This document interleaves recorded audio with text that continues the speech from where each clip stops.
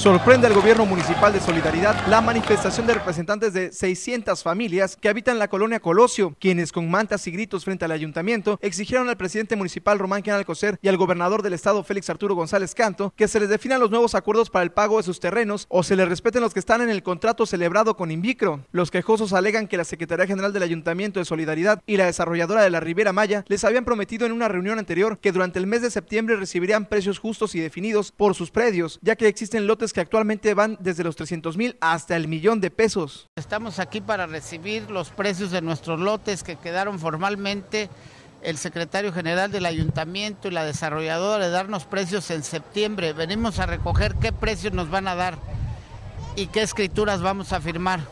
Y es momento de que 600 familias estamos en espera de que se resuelva este pedimento. Venimos en forma pacífica y tenemos una cita con el presidente a las 6 de la tarde, cosa que todavía no llega. Entonces, esperemos que se digne atender las necesidades del pueblo. Además, los manifestantes exigían en sus reclamos la destitución de Ricardo Pech Gómez de Infovir y de María Cristina Torres de la desarrolladora de la Riviera Maya, porque dicen que no les han dado resultados y en todo este tiempo solo los han engañado con tráfico de influencias y despojo.